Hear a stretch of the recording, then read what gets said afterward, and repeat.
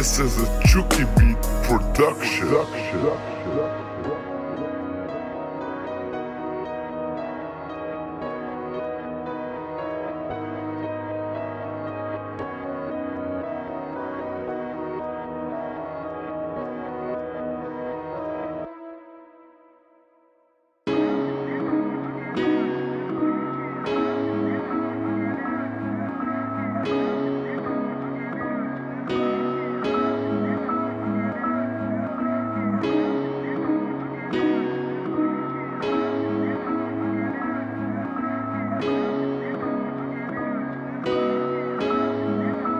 Brian Little.